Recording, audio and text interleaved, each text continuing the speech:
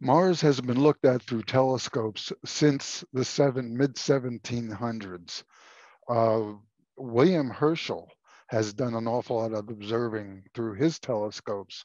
And in fact, it was Herschel who found not only the, not only found the polar ice caps, but he also found the fact that Mars does uh, show changes throughout its year. Uh, he thought that the that uh, Mars had a lot of similarities to Earth, and uh, but he never ever said that there's definitely people on them. 1854, uh, uh there was speculation uh, about Mars because it seemed like Mars had land areas and seas and and the like, and uh, later on, a, a, man by the name of Giovanni Schiaparelli uh, was looking at Mars through his telescopes, and he tried to define some of those light and dark areas. Uh, through through some years of watching Mars, those those light and dark areas became a lot more specific. And um, you know, he's he's been credited with uh, possibly causing a mistake that uh, caused uh, Percival Lowell to call these uh, areas uh, uh, canals as opposed to channels. But actually, if you were to take a look at Schiaparelli's pictures, this is this was done in 1888 and uh, that looks that looks pretty man-made to me. I think I don't think it was uh, really a mistake uh, on Schiaparelli's uh, part. I mean, it looks like there's something built on that planet. At the same time this was going on, uh, Drake University was founded and was going through its earliest histories. Uh, the uh, Old Main was built in 1881. Uh, and uh, it was about 1897 that a uh, Minnesonian, is that how you say it? Minnesotan? Anyway, some guy from Minnesota uh, decided he was going to go to Drake because the schools that he went to up in Excelsior, Minnesota, had all either closed or burned down. That man was Dan Morehouse, and Dan, having a pioneer upbringing, uh, was, was definitely up to the task of not only going to college and learning, but he's also part of the football team.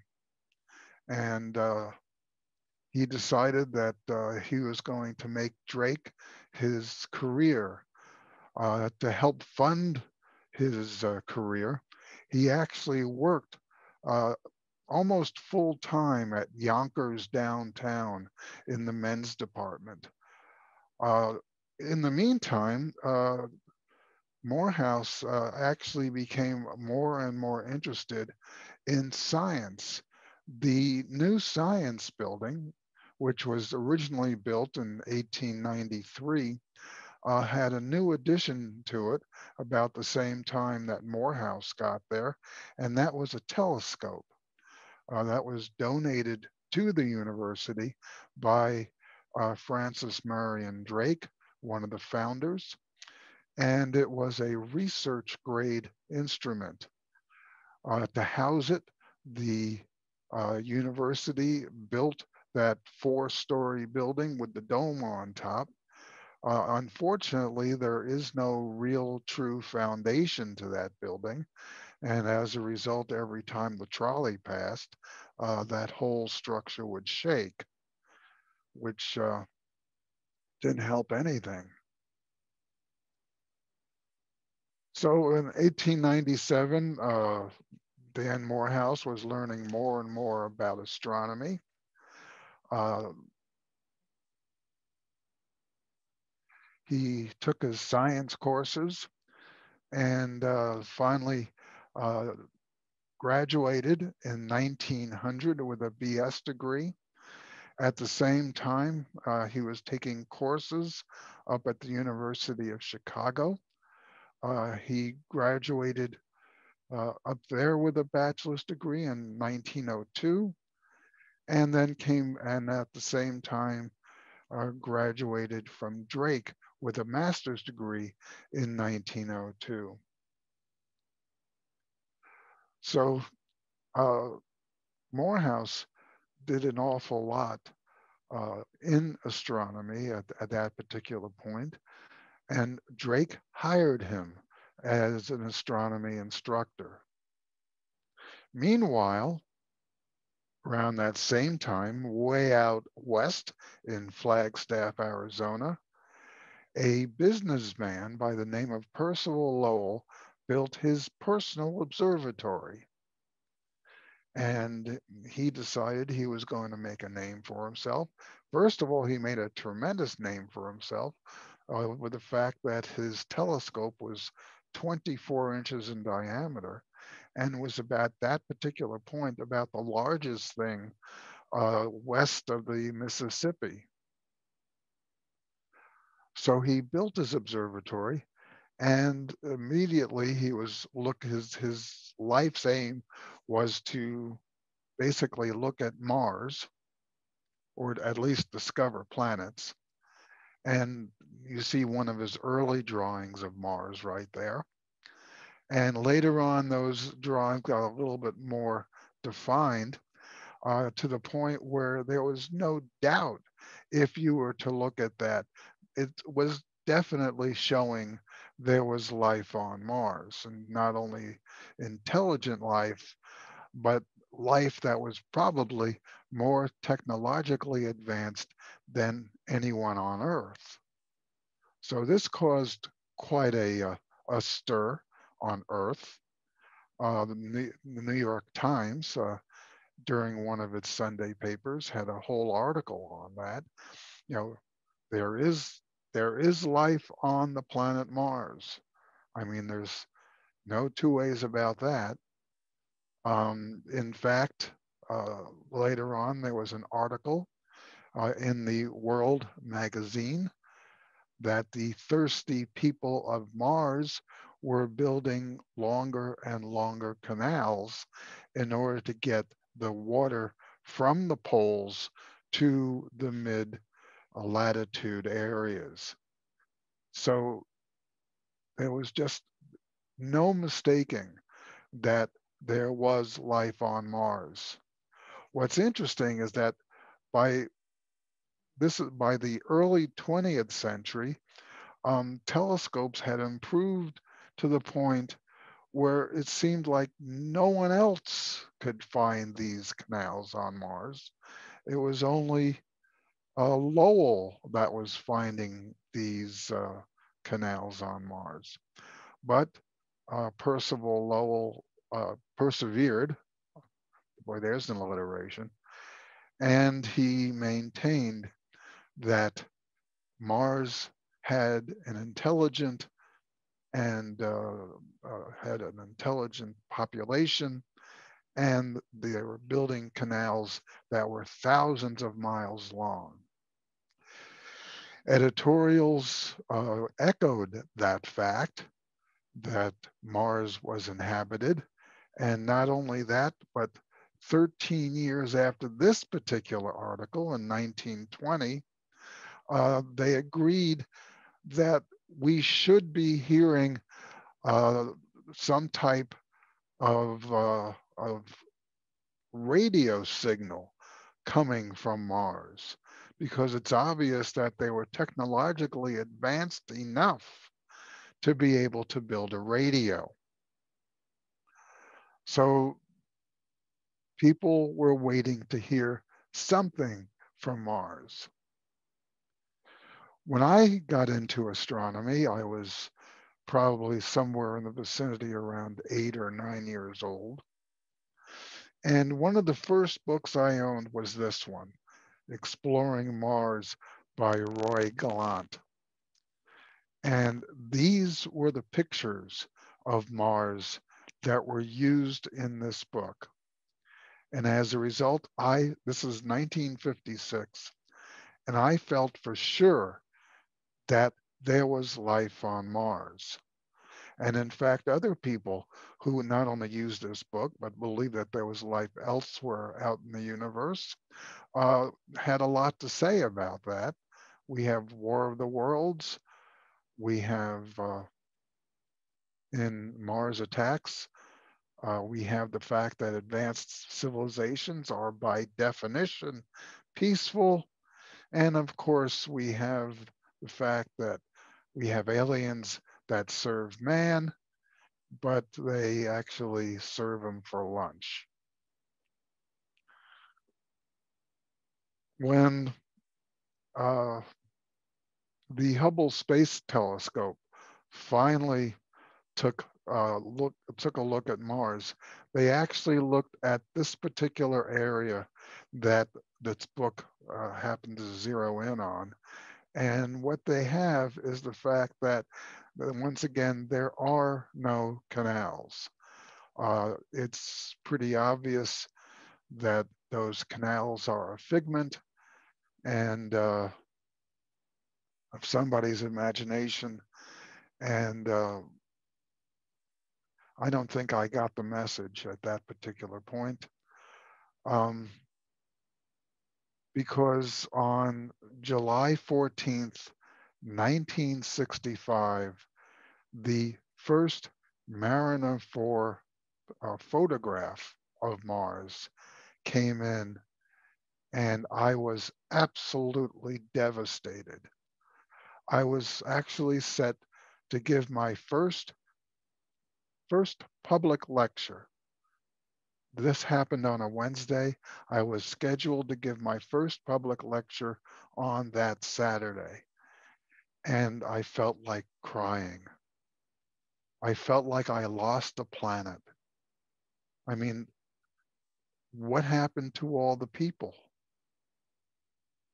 It's obvious that there's no people on there because there's craters. And if there's craters, then obviously they've all been killed by all the meteors that came down. But um, anyway, but at this particular point, uh, astronomers were first looking on how do we find other planets out there? And the first exoplanet that was discovered was actually in 1992. It happened to be a, a planet that was orbiting a, um, a pulsar.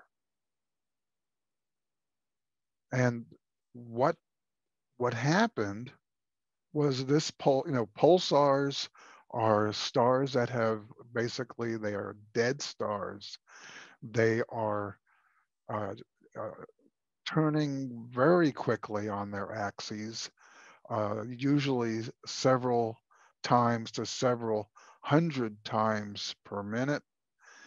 And these intervals from one revolution to the next are staggeringly accurate. In other words, one is exactly like the other. They were watching this particular pulsar and they found that its pulses occasionally would vary. So there was something that was interfering with the or with this pulsar that was turning uh, actually once every six thousandths of a second. So something was getting in the way, and an astronomer deduced that what was getting in the way was a planet. There was a planet orbiting it, and this planet was actually interfering with the precise turning of this pulsar.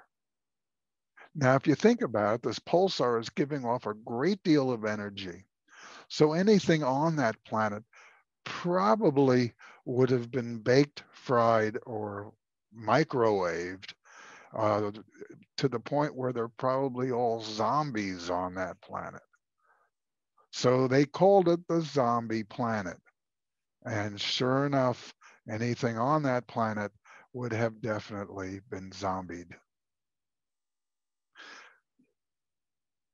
The when astronomers started looking out into our solar system and sending out probes, one of those probes was a was a probe going to Jupiter. It was called Galileo.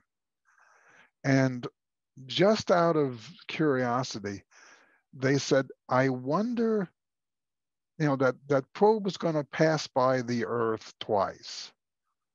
I wonder if we turn the sensors toward Earth, if we could actually get information that would confirm that there is life on Earth.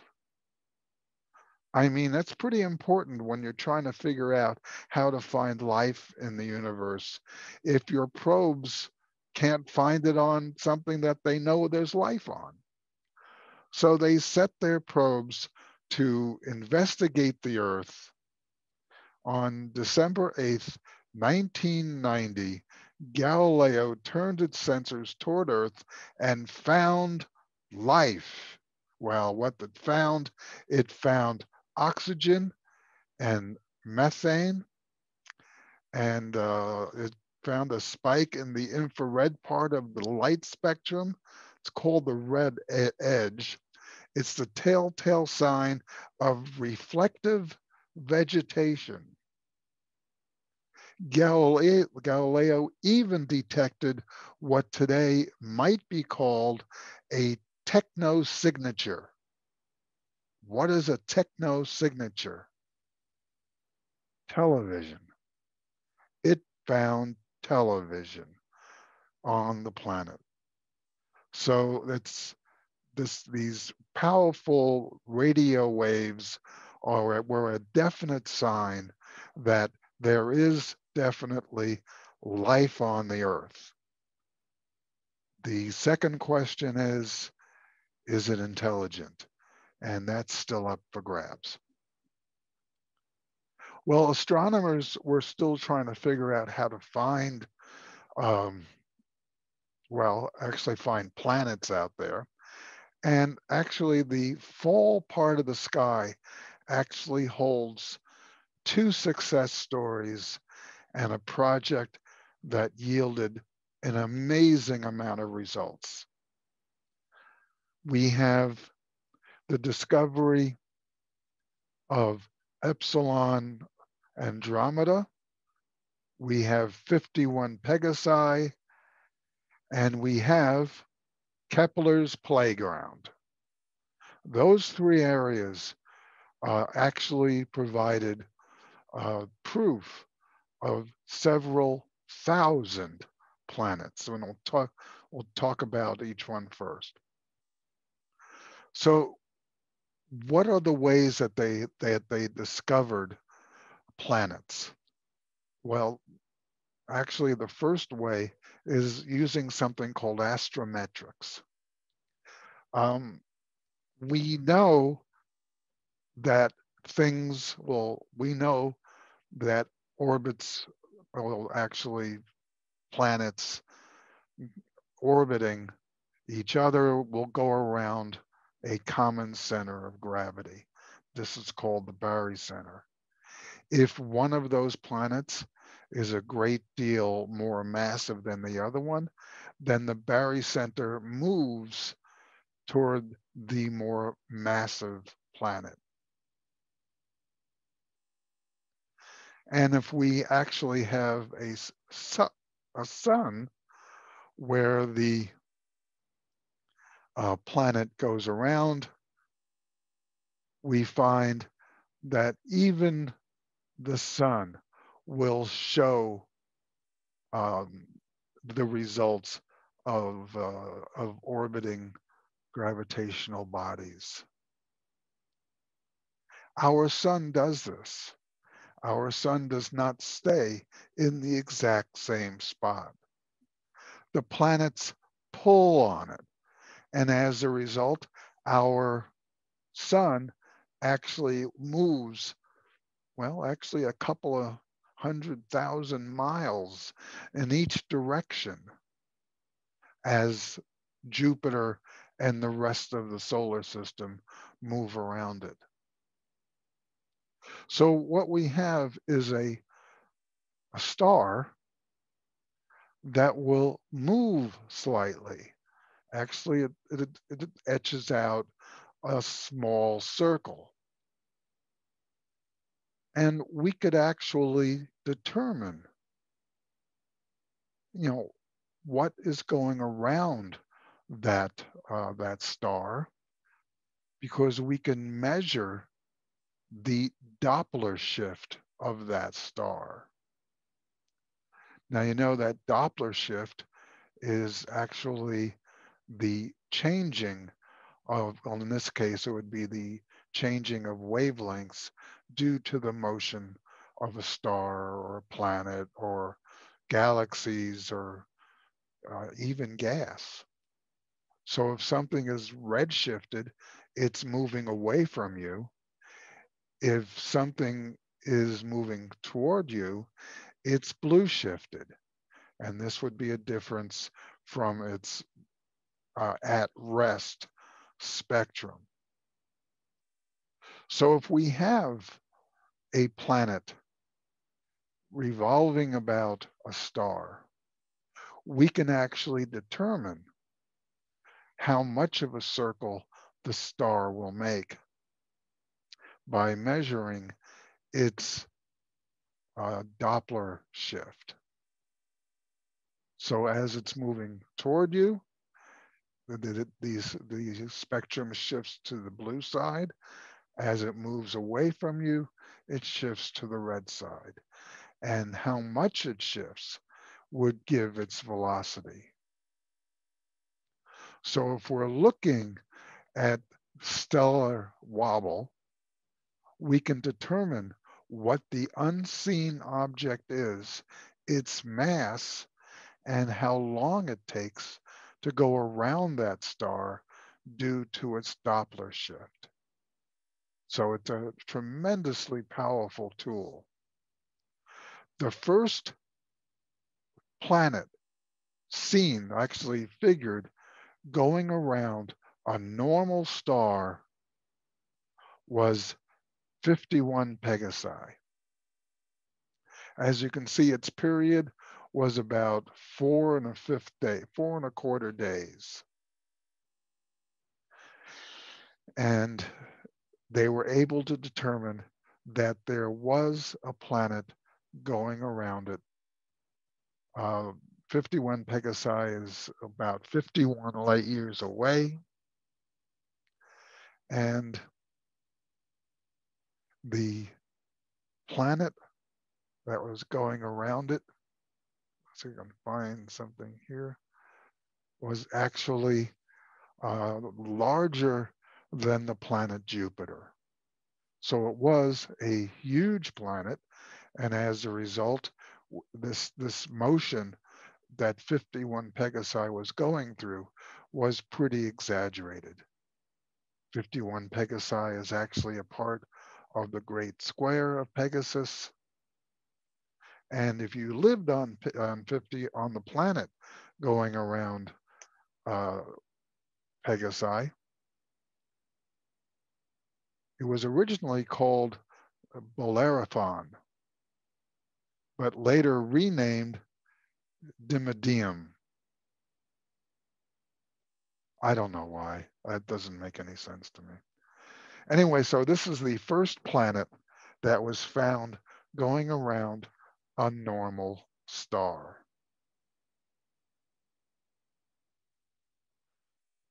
Uh, the planet, uh, it was the, the mass was at least 150 times that of the Earth.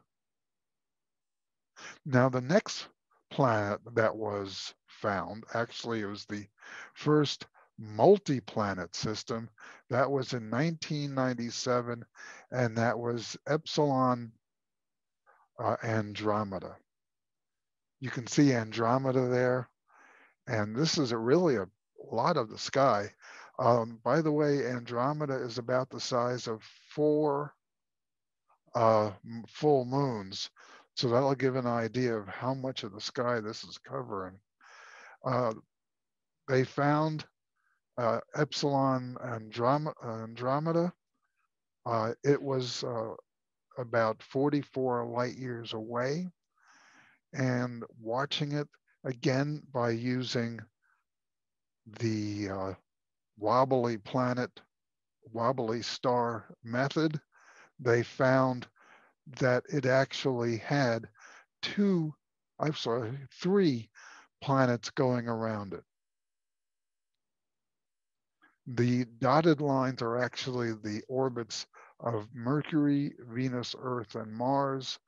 So you can see that they, these uh, planets were very similar to the, some of the distances of our own planets in our solar system.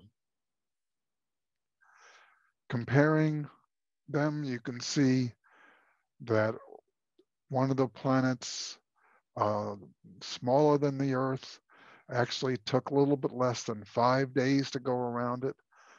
The uh, next planet, about the size of the Earth, uh, took just a little bit longer than Venus. And finally, the last planet uh, took considerably longer to revolve about the planet. What made this thing so amazing was the fact that water was detected. And it was the first proof that water is anything but rare in our solar system.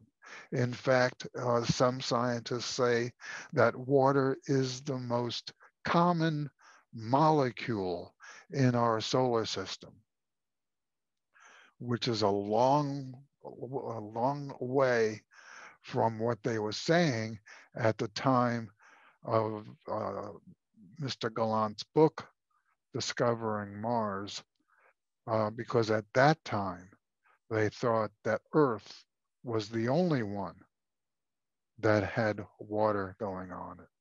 Now, in order to get these results, it, the time involved takes years, years of observing.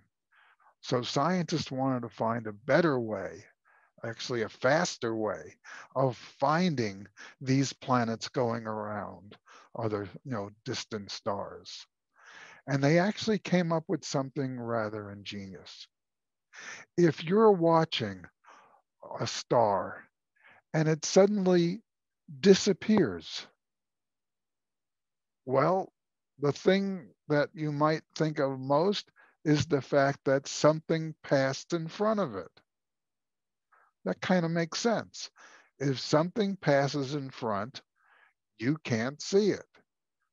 I don't think there's any uh, any reaction that would actually dim a star for a couple of hours or even a couple of days and then come back to its normal brightness. So they started looking at something called binary stars or two stars going around each other.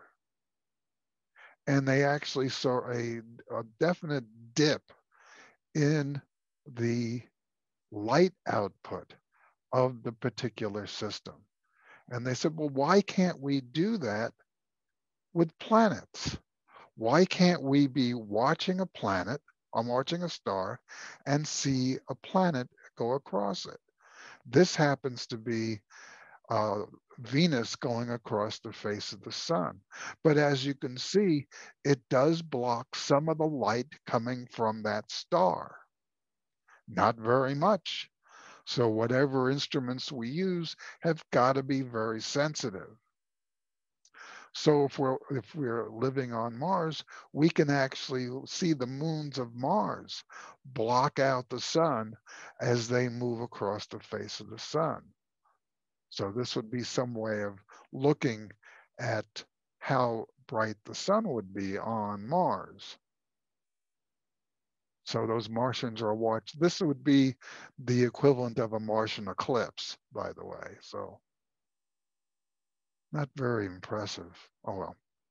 Anyway, so if we're watching an object move across a star, you can see that the light output definitely dips while that object moves across the sun, the, uh, the face of that star.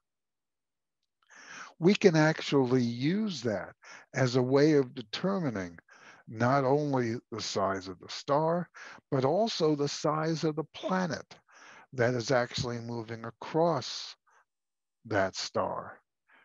If we watch the light curve on that, we can see how the light curve changes as the object moves across, first of all, the surface of the star, and then moves behind the star.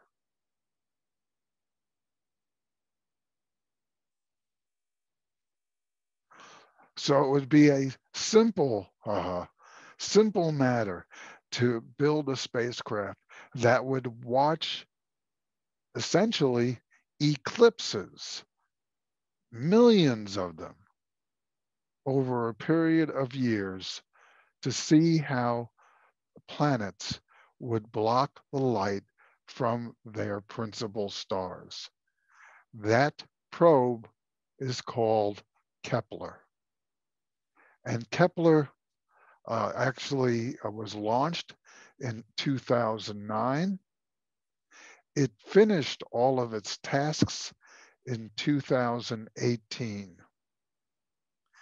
And it actually watched more than 500,000 stars. It was an amazing piece of technology. And basically anything that passed in front of it, if it involved blocking a part of that star, uh, there was information, there was definite information on planets, if any, that were going around that star. So it was looking for planets that were transiting their stars. So you can see the difference between these planets that were transiting and the planets that do not transit. So it was only going to be looking for planets that transit. Next, where was it going to look? Well, here's our galaxy. And uh, well, where's the sun in all this? The sun is right there and it was going to look basically in two directions. It had two missions. One of them was the original mission to find planets. The other one was going to uh, find planets, but in a but in a different way. So it had two different missions, and in the process of doing that, uh, it was looking at a tiny little piece of the sky. Roughly 5% of the sky was covered by the Kepler spacecraft. That was it, only 5%. And there you have the uh, how it was looking. It was looking toward the uh, constellation of Cygnus, which is just a little bit off the Milky Way. And then after it found a planet, or it found what could be a planet, that sighting was confirmed by uh, this particular telescope uh, that actually used something called interferometry so that it it is able to actually see that planet going around that star. So not only did they have to find the planet, but it also had to be confirmed. And this is what it saw. So you can see it's, you know, the uh, uh, the footprint of that particular uh, camera. And over time, it picked up lots and lots of planets. You can see that they varied anything from Earth sized to super Earth size, which would take it about twice the size of the Earth. Uh, you can see Neptune size. And finally, you have giant planet sized, which would actually be larger than Jupiter. As of 2012, in other words, after three years of doing its mission, it had spotted more than 2,500 possible transiting planets, including 60 that were in what scientists call the habitable zone. And we'll get into that in a minute. So this is how they saw those particular planets. And that little one that's underneath that big one over there, let's get a closer look at it. That would actually be our sun. And that black dot would be Jupiter moving across it. So that's how Jupiter, a Jupiter-sized planet, moving across our sun, that's what it would look like. So now, now that they had all this information, they actually made a graphic that had all of these planets going around the stars. I like this, but it doesn't say anything. Just looks neat. They call this the Kepler orrery. Anyway, the final, the final tally was the fact that it spent just under 10 years in space.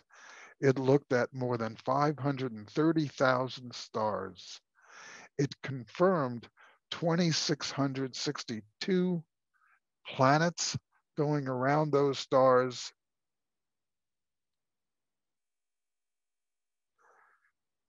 in the process of doing that, it also found 61 supernova documented from the time that they started getting brighter. That's if if it did nothing more than that, it would have been a major accomplishment because what gives astronomers the knowledge about supernovas is the fact that they have to watch it from the time that it first starts to get bright. And Kepler was right there.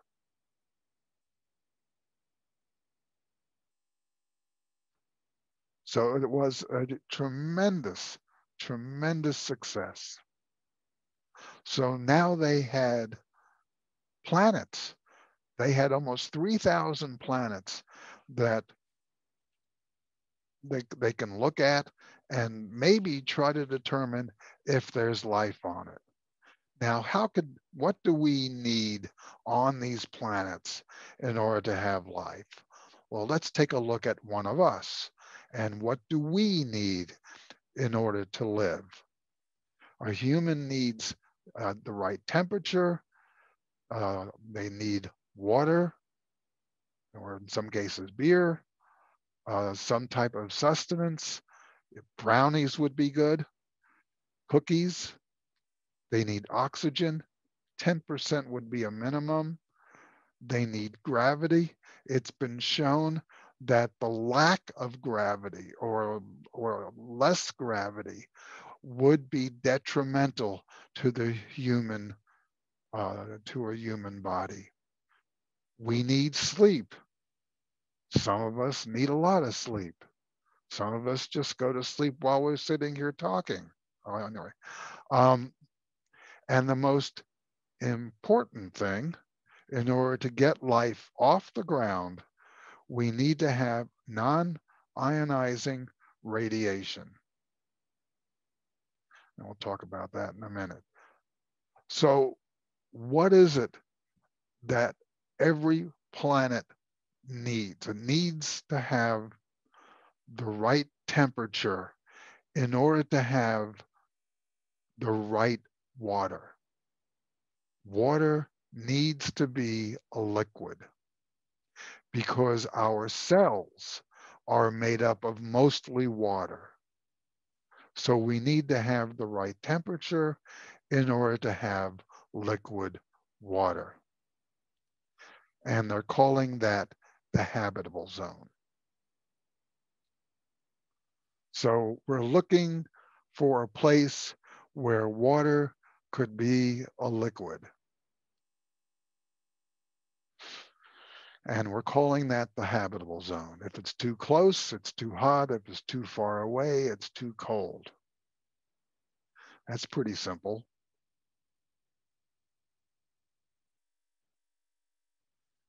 And what makes things kind of interesting is the fact that there's a whole variety of normal stars. We have stars that are really hot, and we have stars that are not so hot. Our star puts our habitable zone. Actually, our Earth is on the inner edge of the habitable zone, while Mars is inside the habitable zone. And the hotter the star gets, the more the habitable zone is skewed away from that star.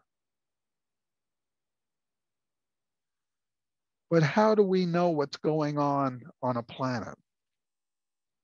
Well, scientists, astronomers will take the spectrum of that solar system.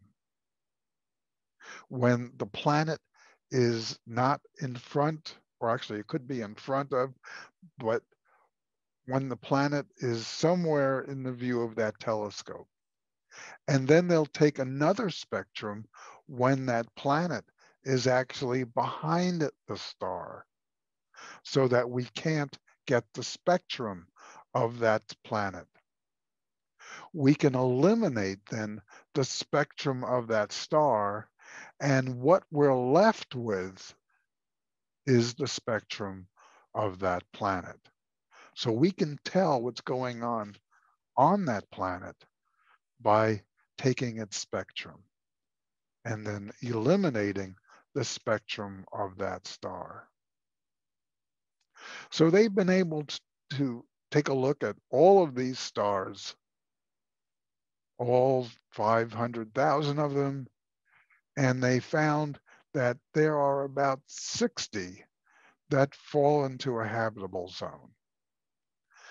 Here are the, shall we say, this is the, I'm sorry, the top 19 and they are ranked according to distance. So you can see that Proxima Centauri has a planet going around it. It's 4.2 light years away. Uh, Tau Ceti is 12 light years away. And this would be the approximate size of the planet. And you can see the Earth on the other side compared to the Earth. So you can see some planets are larger, some planets are smaller. And if we were to actually list the top 20 uh, planets that are most like the Earth, it would look like this. And suddenly you're seeing names, you have no idea what it is. And the uh, to, to read, you can see it says M warm Terran. The M stands for the type of star. So it's so be an M type star. Then you have a K type star, which is actually a white star. Then you have a G type star, which is a yellow white star. The M stars are red dwarf stars. And then way on the right side, you have something called an ESI. An ESI is the Earth Similarity Index. What in the world is that? I mean, does that make life possible on these things? Well, to some people it might, but actually the Earth Similarity Index, it's a number between zero and one. Earth would be one, so it'd be like the Earth. Uh, any exoplanet with an ESI above eight could be considered Earth-like. So it would have a similar size, a similar uh, composition, uh, it have a, a similar, maybe a, a similar atmosphere. Um, it's a function of the radius, the bulk density, the escape velocity. I mean, it's, it's everything, but if there's, but it doesn't really show that much. Um, a an Earth similarity index of 0.99 doesn't mean that there's life on it. And that kind of throws people off.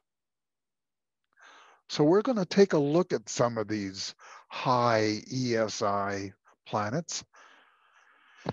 Excuse me. And see if see what's going on. So we're back to here. You can see, by the way, uh, Earth has a ESI of one. Mars has an ESI of about 0.6. Uh, Venus is about 0.5. So you can see that, you know, they think maybe there's something on Mars, but it only has a like a 0.665 or something like that. Anyway, but let's go ahead and get our chart on there. And these are the stars that I'm going to be looking at. I'm going to look at Teegarden stars, TRAPPIST, Proxima Centauri, uh, JG 1061. Um, so we have lots and lots of different stars there. And um, I'm going to show you why there could be or maybe not life on each of those.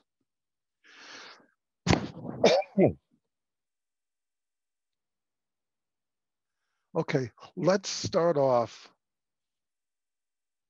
with Teegarden star.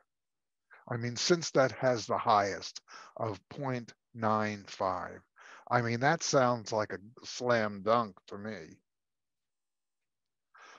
So Teegarden star, um, first of all, it had absolutely nothing to do with Kepler's, the Kepler probe.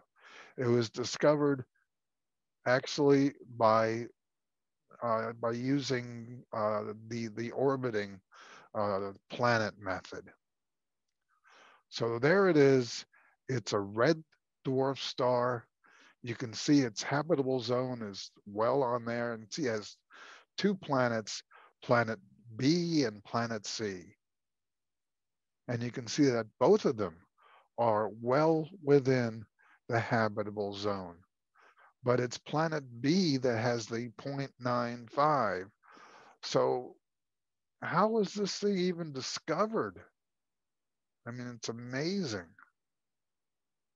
Well, actually, it was discovered with another program. It was discovered by using something called data mining. Everything that the astronomer sees in the sky is archived. So if you want to see something or uh, discover something uh, that might be uh, on some data that's 20 years old, you would have to find where it was, at least where the data was taken, and then go through its archives in order to find the particular data that you're looking for. So it was archived uh, according to a program called NEAT, which is the Near Earth Asteroid Tracking System. And it was actually designed to find objects that are within 20 light years of the Earth. And wouldn't you know it, they found an object that they've never seen before that was within 20 light years of the Earth. And there it is. That definitely makes a big impression, doesn't it?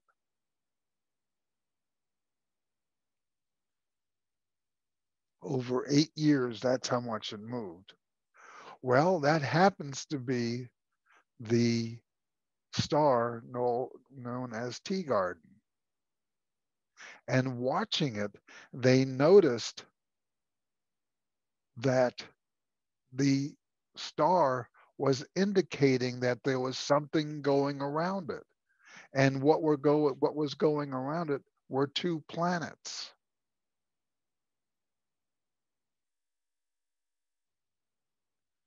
The next object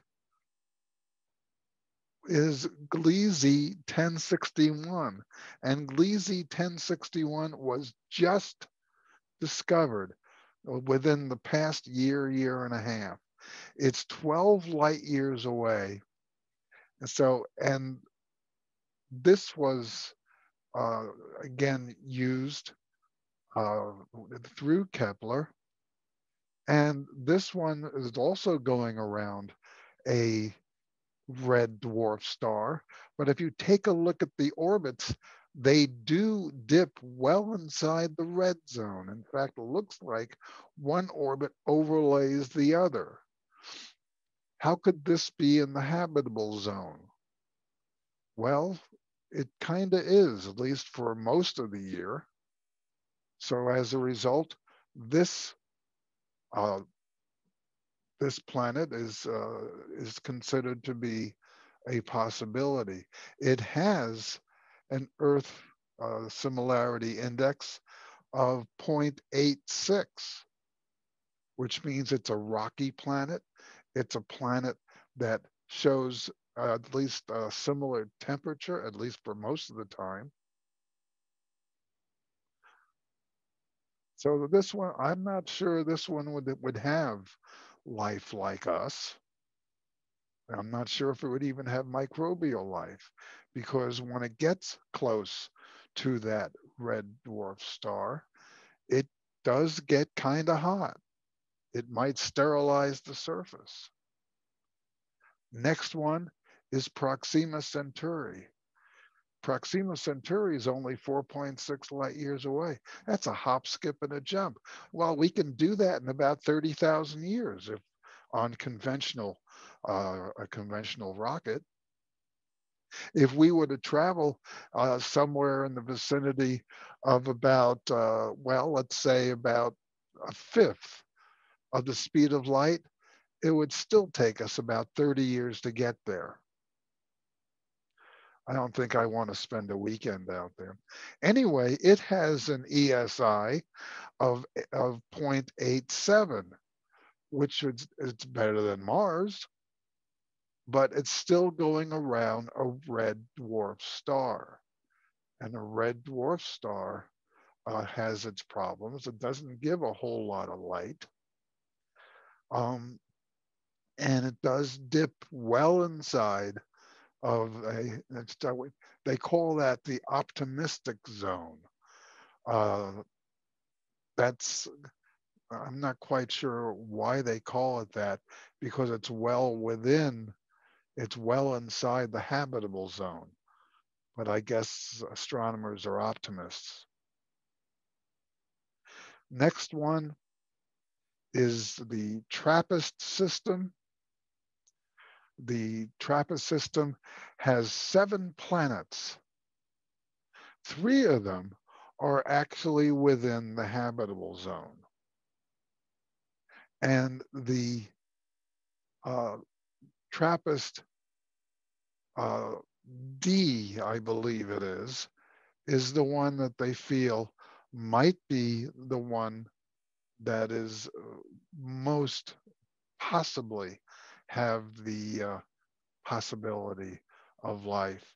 But the fact of the matter is that if you take the solar system that makes up the TRAPPIST system, it is actually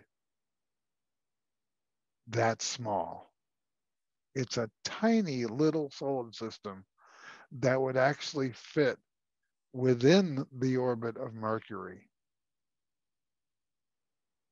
So uh, the D, TRAPPIST D, uh, may or may not be, you know, have the right stuff to have anything living on it. The, the one good thing about this is the fact that the orbit is circular.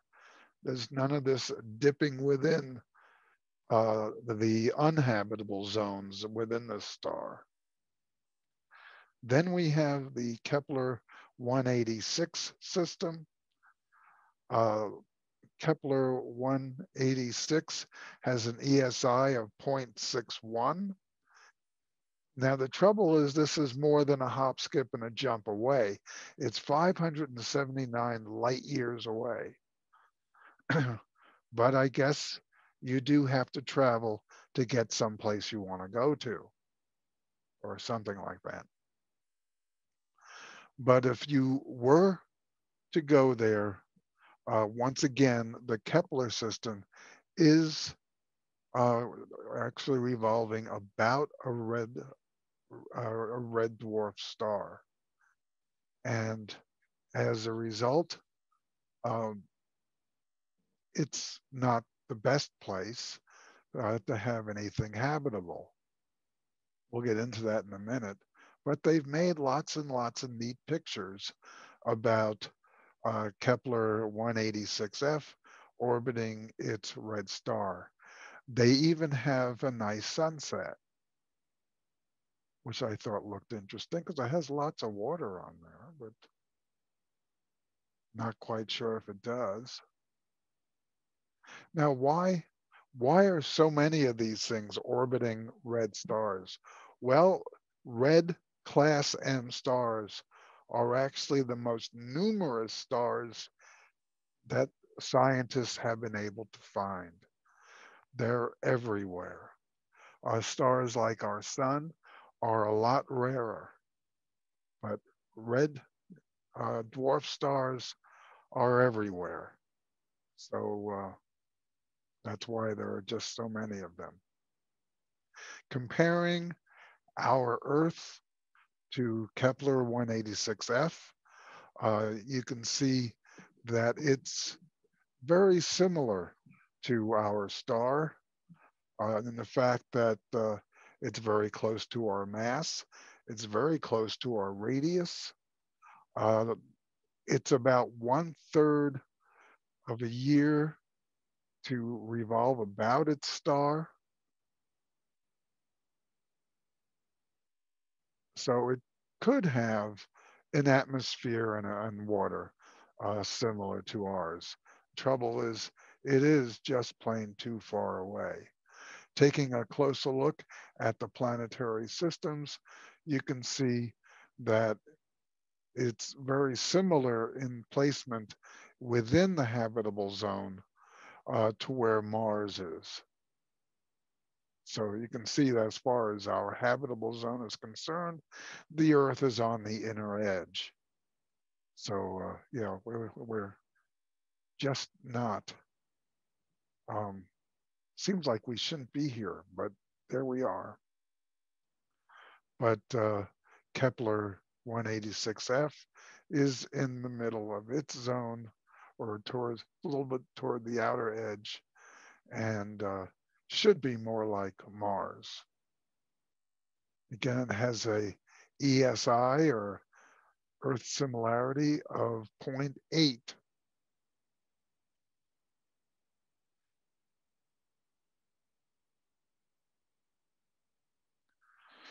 Next, we have Gliese 667. And Gliese 667 C is a, again, a red dwarf star. Uh, the planet that is within the habitable zone is uh, 667 CC. It's about 3.7 times the Earth's mass. and it is considered to be a super Earth. In other words, it is much larger than our Earth. We don't know if the extra gravity uh, would would be a detriment to life, but it might it might be. Um, unless the no again, what makes all these planets doubtful that there's life on it is the fact that all of these planets are orbiting, at least all the ones I've talked to tonight, are orbiting red dwarf stars.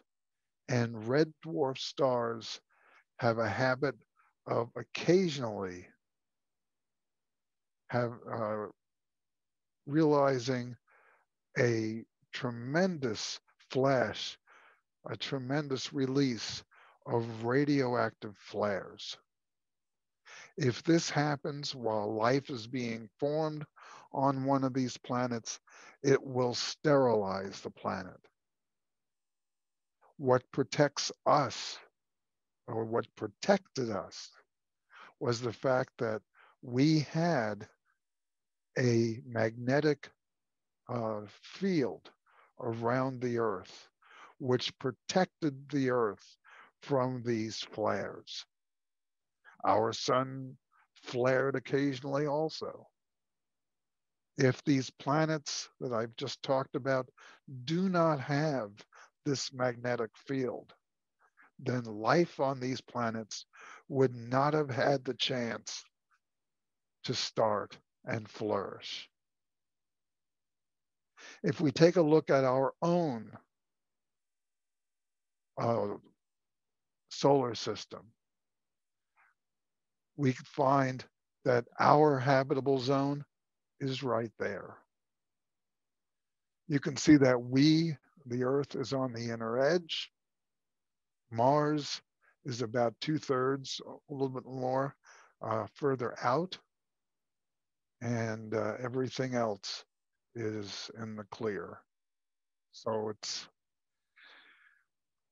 it the assumption would be that anything beyond where our habitable zone ends would be incapable of having any kind of life. That is not true there are there are two uh, actually moons that go around Jupiter. Actually, one moon goes around Jupiter, the other one goes around Saturn, that have liquid water on it.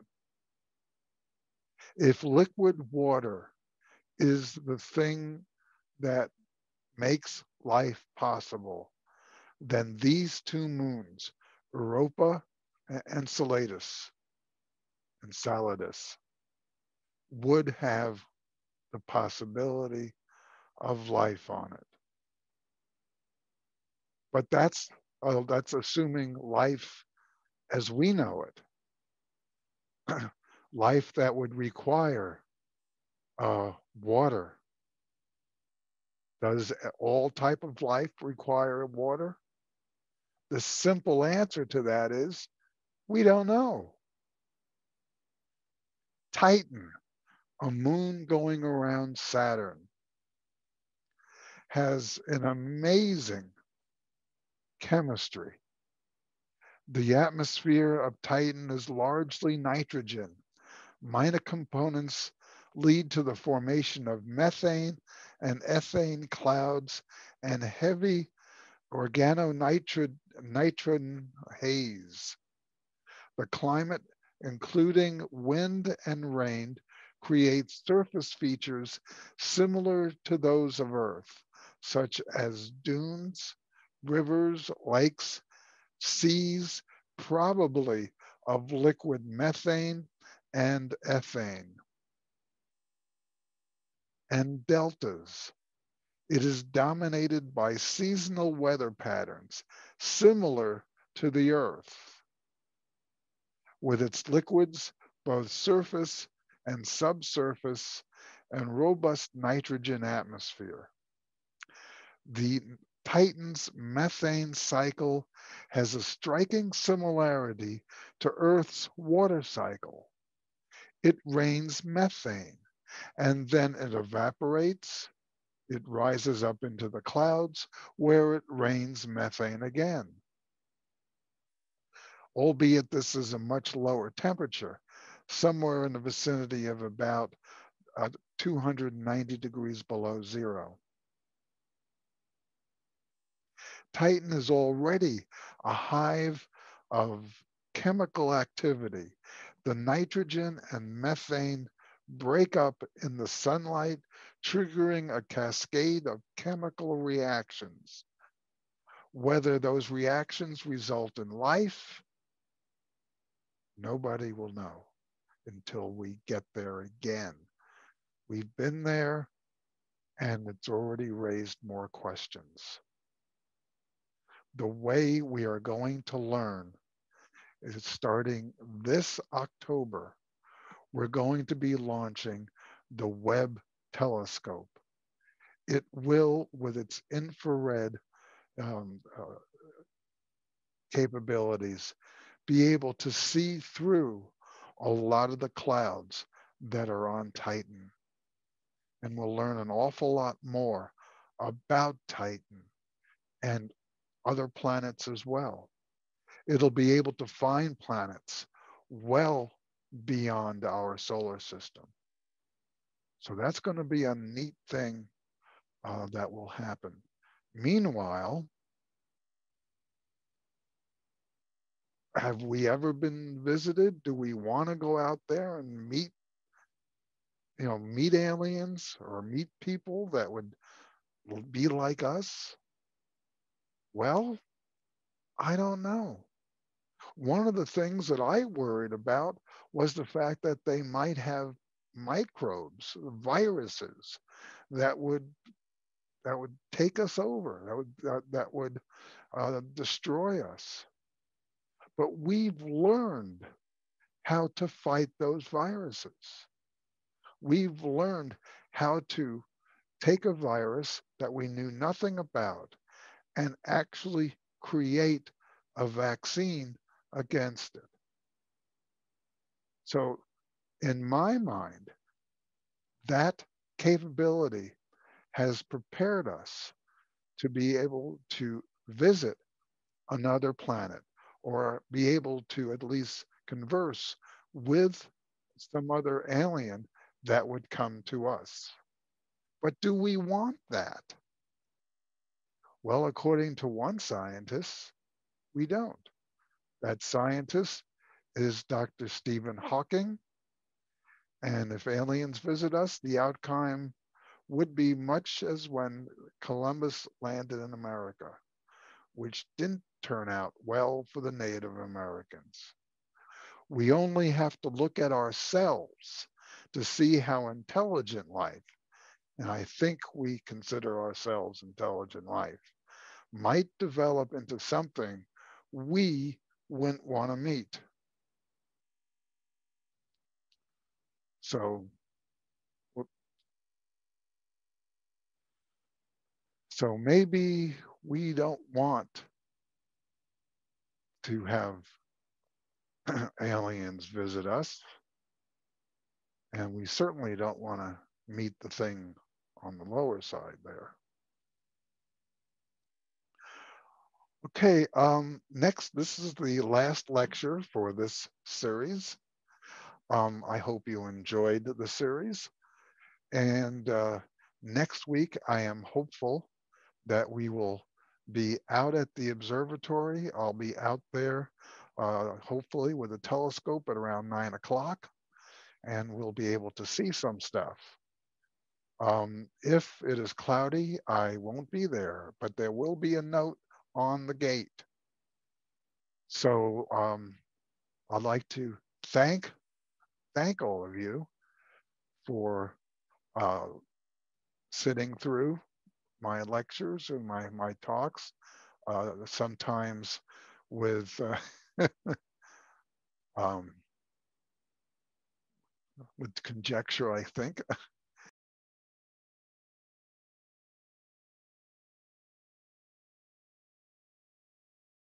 It kind of looks familiar, doesn't it? Anyway, uh, we'll get started here.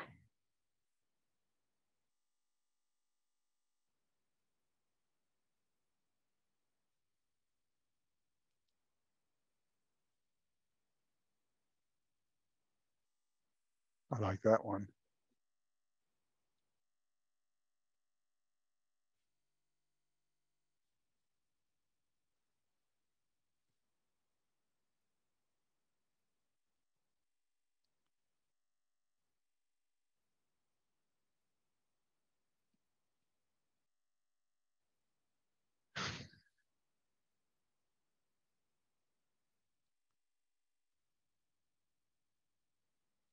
I like this one. This is so neat.